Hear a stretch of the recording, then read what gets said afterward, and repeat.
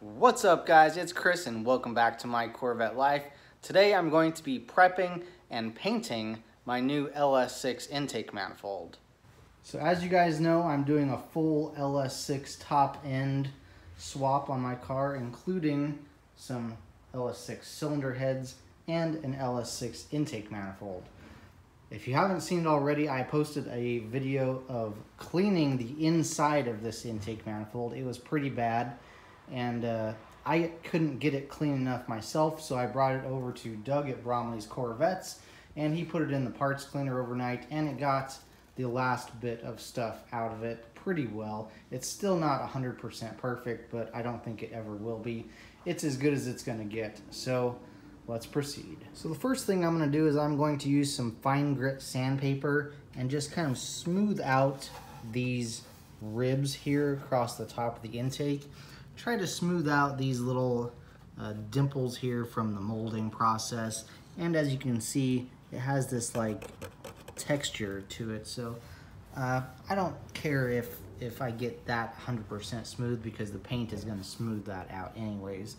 But try to get, you know, all these scratches and stuff and try to get these dimples down a little bit so when I paint it, it'll smooth themselves out. So I've got some fine grit sandpaper, so I'm gonna go ahead and get started. And I've decided to paint the intake a gloss black, and I'm going to paint the fuel rails red like my valve covers, so it should be a nice contrast. I'm going to be using a 400 grit sandpaper. I think that's just fine enough and not super fine to where it can't actually do much, but uh, not rough enough to actually leave visible scratches in the intake either.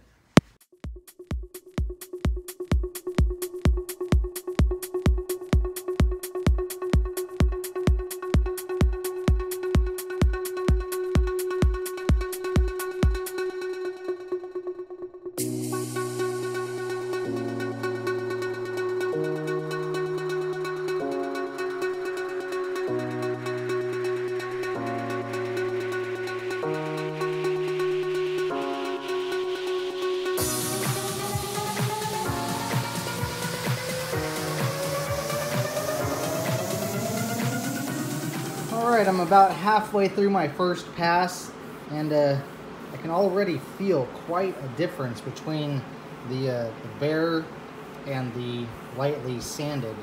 It's a big difference. You can still see the little dimples a little bit, so I need to go back and see if I can just smooth those out just a little bit more. I might not be able to get them perfect. If I can't, that's all right. I'll live with it. It's not that big of a deal. Once it's painted, you probably won't see much of them anyways.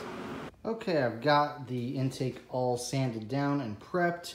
I've got all of the openings and uh, bolt holes all masked off. So I'm ready to primer it. So let's give it a shot. Here's what the bottom looks like. I went ahead and knocked off all of the ridges uh, in the middle here and I'll show you why. Here you can see the LS6 intake on the left and the LS1 intake on the right. You'll notice that the LS1 intake has a raised center area and lower on the outside areas, whereas the LS6 intake is flat all the way across. That is for the coolant crossover lines that go underneath the intake manifold. So you can see on the left here, that's the LS1 intake and the coolant crossover lines follow that valley underneath the intake. So since the LS6 intake has a flat bottom, you'll need to knock off all those ridges in order to make room for those coolant lines. Here you can see even better the valleys on the LS1 intake versus the LS6. So now that I've already gotten rid of those ridges, let's go ahead and start the primer.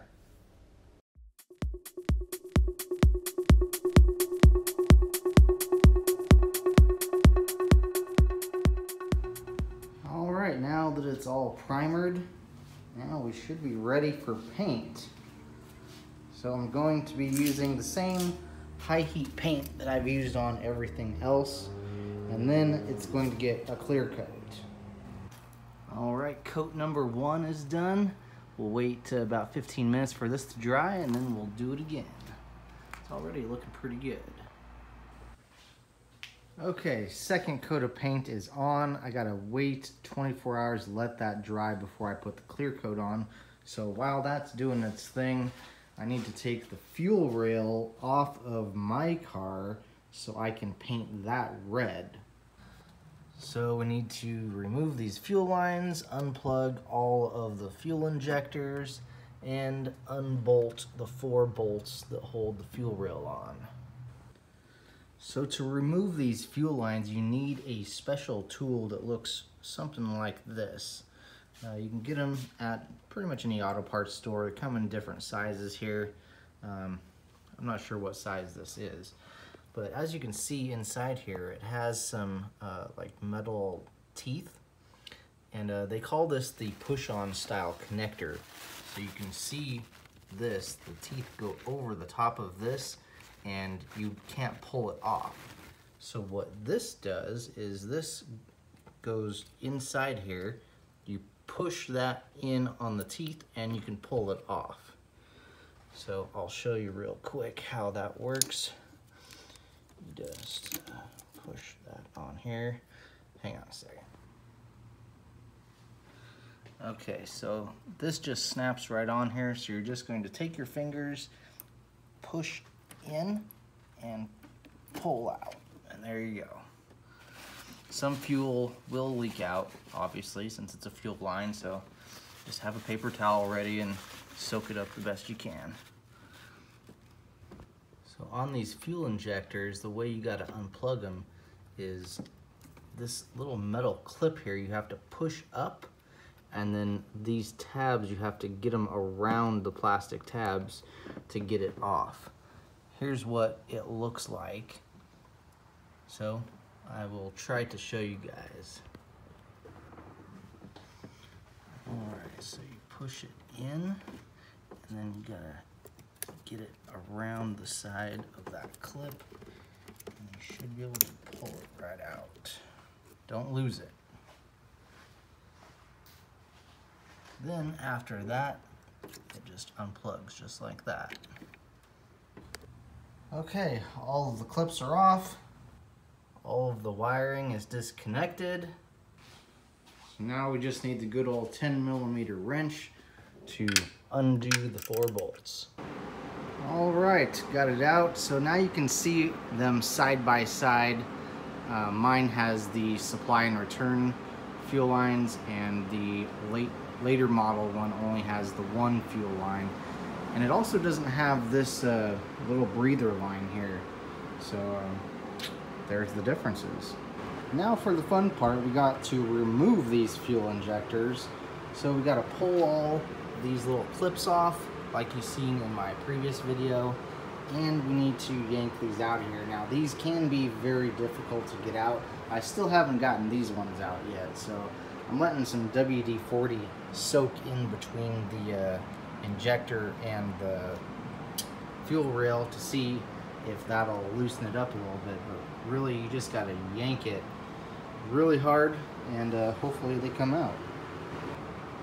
Okay, all the clips are off. Now let's see if we can yank these out. I just want to show you guys real quick, these injectors are actually very clean and really good condition. Okay, so I am managing to get them out as you can see, they pull out of these little holes here. Every once in a while, a uh, rubber O-ring gets stuck in there. As you can see, it goes on the end of the injector here. So you just take a little uh, hook or some needle nose pliers and just kind of get it out of there. All right, guys, it's the next day. I've got the intake manifold clear coated, so take a look. Still a little bit wet. It's drying, but it looks pretty good. So we're gonna let that dry 24 hours before we touch it. So next up on the list is painting the fuel rail. Now I've got everything masked off. Painting the fuel rail red. Uh, so first primer, then paint. All right, primer is done. Now I gotta let that dry and then we can paint it. All right, I've got the fuel rail painted and cleared. I'm Just gonna let it dry for a few hours. I might give it one more coat of clear, but uh, it's looking pretty good. So, let's hope for the best. So that's gonna do it for today's video. We are getting closer to the install, so stay tuned. If you liked today's video, please smash the thumbs up button. If you're not already subscribed, go ahead and hit that subscribe button below. And until next time, we'll see you guys later. Take care.